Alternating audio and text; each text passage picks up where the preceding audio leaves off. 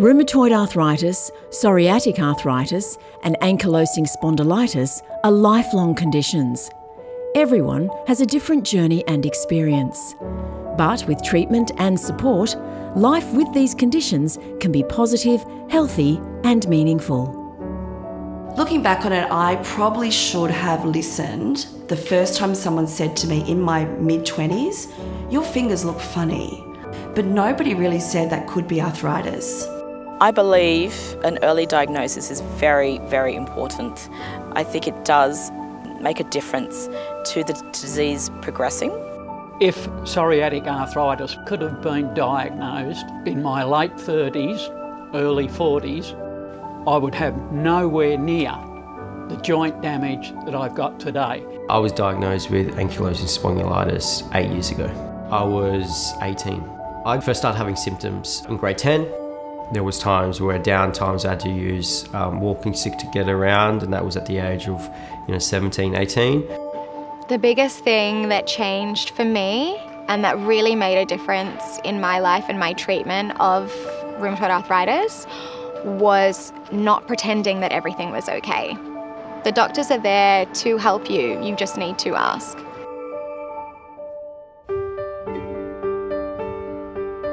I have been prescribed lots of anti-inflammatories in different forms, topical, um, suppositories, tablets, you name it. At first they put me on painkillers, uh, that didn't work, then slightly stronger painkillers, that didn't work either, but it just made me feel a little bit groggy.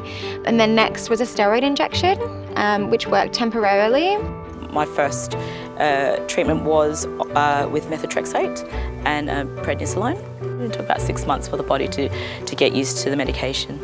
I started with methotrexate. Um, it was the only treatment I've ever been on, uh, apart from hydroxychloroquine, but methotrexate was the first treatment I went on and I um, started at a medium dose and went up high to try and get my inflammation down. And then I have now got a stable dose that works for me on a weekly basis.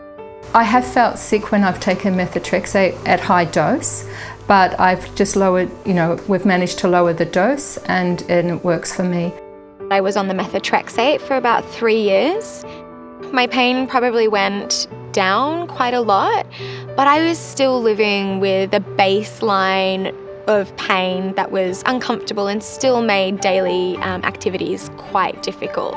And that was when they put me forward for the biological drugs.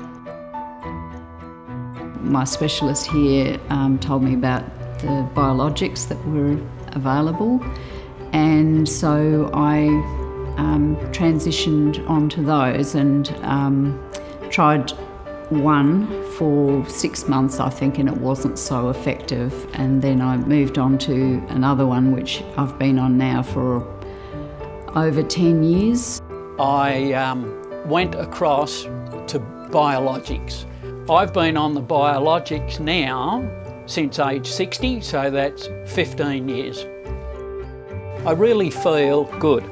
I'm not in pain. I think the key to arthritis is early diagnosis. If you diagnose it early, you can really pause the onset of the disease before it gets really bad. The major tip that I would have is take personal responsibility for your condition.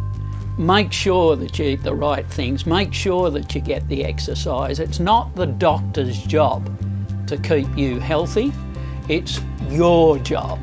I do get the occasional flare, but it's nothing to write home about. It's it's certainly self-managed. So I know there's some certain triggers for me um, that I'm just trying to avoid um, to try and stop that flare.